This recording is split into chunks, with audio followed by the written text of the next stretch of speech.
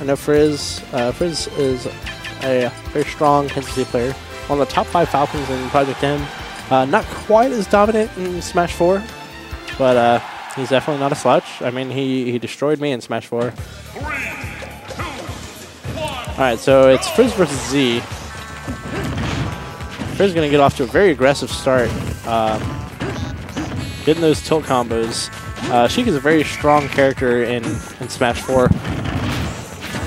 Very hard to deal with um, if you if you don't know how.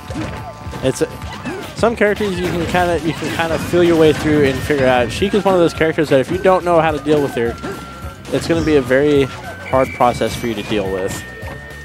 Like that's just that's just the cold hard truth about it. Hey everybody, Silent Protagonist on the mic here. Going to join you for some commentary. We got uh, losers round two, Frizz versus Z. All right, we see uh, Frizz kind of keeping things uh, very even.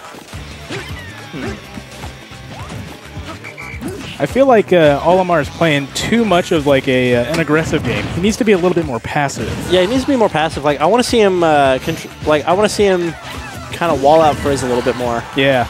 All right. So oh wow. Uh, I think that was Pikmin throw. Yep. Takes the Uh, first stock pretty handedly.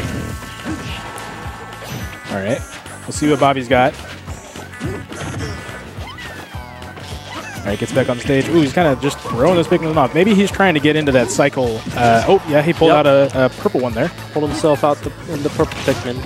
Oh, no, that was a very smart recovery because uh, whenever Olimar has a lot of Pikmin out, his up B goes a lot slower. So he threw the purple one on the stage. Oh, yeah, yeah. to lighten himself up a little bit.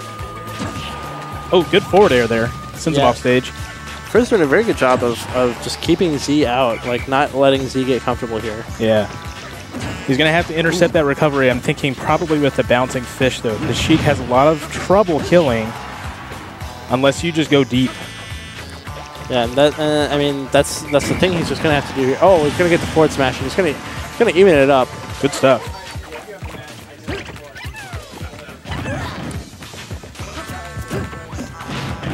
Okay, getting something going here. But he gets Oh, out of it, likewise. throws. Oh, tilts the wrong way, though. Eats a down smash for it. Okay, this is good what Olimar's doing. Ooh. This is where he shines. He's got to stay away from uh, Sheik. He's got to try to stay away from. This is how the matchup's going to be kind of awkward, awkward because Olimar wants to run away. He wants to throw his Pikmin at you. He doesn't want to do anything to you up close because he has kind of a weak game. But Sheik just wants to get in on you, and that's probably why uh, Bobby plays this character, honestly.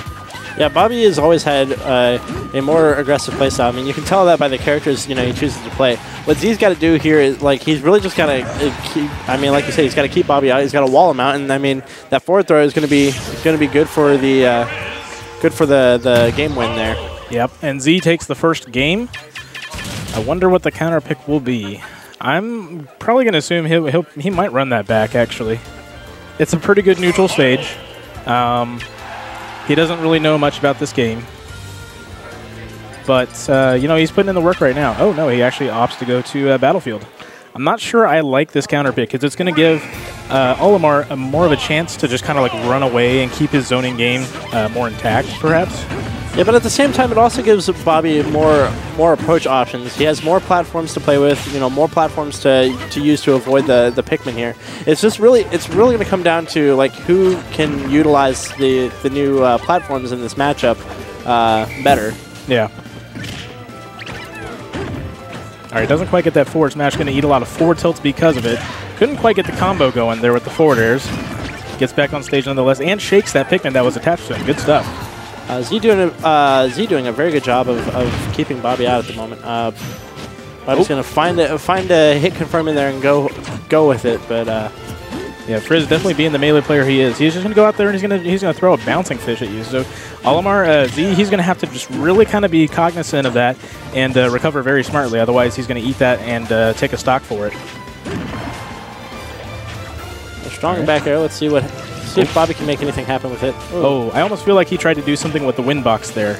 Yeah, It's some wind box. Like I think he tried to use the like the edge canceling of the the uppy there a little bit. Uh, Oh no, that's not Ooh, how you wanna, smash. Yeah, that's not how you want to fight Olimar, man.